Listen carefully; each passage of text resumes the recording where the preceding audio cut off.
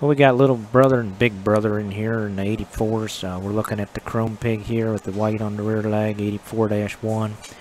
This is a uh, one testicle retainer. He wouldn't be in the sale. Be in the boar pen, lot 23. He's a drop kick, uh, king, dirty secret. That king sow would be the mother of the $50,000 uh, commercial gilt there at OYE that was reserved here back in March.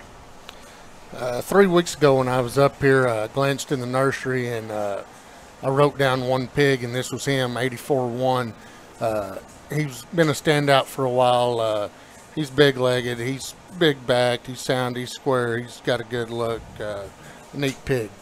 Yeah, I don't. Uh, you know, Ben says he wants him in the boar pen, and Colby said he wanted to feed him. I don't know that um, there needs to be a whole lot more said about this one. An, an, elite level prospect that's a little bit bigger than than some of the offerings uh, in the sale, but wherever he fits to you, I certainly think he can fit towards the top. I think this one does not need to be on your short list. I think he sucks.